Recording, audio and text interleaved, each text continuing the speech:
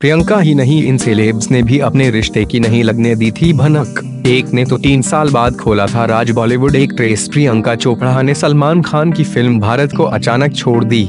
पहले कहा जा रहा था कि शायद उनके हाथ कोई बड़ा प्रोजेक्ट हाथ लगा है, लेकिन पीपल डॉट कॉम के मुताबिक प्रियंका ने अपने बॉयफ्रेंड निक जोनस से सगाई कर ली है और अब वो अक्टूबर में शादी करने जा रही हैं। शादी की तैयारियों को लेकर उन्होंने फ़िल्मों से दूरी बना ली है। बॉलीवुड में ऐसे कई सेलिब्रिटीज रहे हैं जिन्होंने चोरी छिपे अपने रिश्ते को आगे बढ़ाया।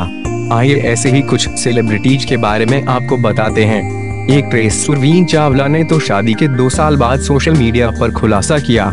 सुरवीन ने दिसंबर 2017 में बताया कि उन्होंने 2015 में अक्षय ठक्कर के साथ इटली में शादी कर ली थी। सुरवीन और अक्षय की मुलाकात एक कॉमन दोस्त के ज़रिए हुई थी। शादी में केवल कुछ दोस्त और परिवार के लोग ही शामिल थे। सुरवीन चावला हाल ही में अनुराग कश्यप की वेब सीरीज़ से क्रिएट गेम्स में नज़र आई थी। जॉन अब्राहम ने जब चोरी छिपे शादी की तो उनके लाखों फैंस का दिल टूट गया था। बिपाशा से ब्रेकअप के बाद जॉन ने 2011 में प्रिया रुचाल के साथ शादी के बंधन में बंधे थे। हालाँकि यह बात सबके सामने 2014 में नए साल की पार्टी के दौरान आई थी। इस शादी में केवल जॉन और उनके परिवार वाले ही मौजूद थे। आदित्य चोपड़ा और रानी मुखर्जी ने चोरी छिपे इटली में शादी की थी 2014 में। रानी मुखर्जी की शादी की खबर सबको पता चली। इस शादी में केवल करीबी दोस्त और रिश्तेदार ही शामिल हुए थे। दोनों के अफेयर की चर्चा काफ़ी समय से थी, लेकिन शादी की बात ने सभी को हैरान कर दिया था।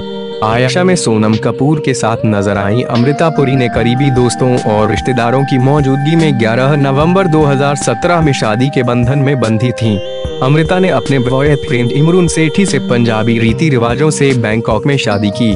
अमृता और इमरुन सेठी बहुत समय से एक दूसरे को डेट कर रहे थे। इमरुन एक बिजनेसमैन है।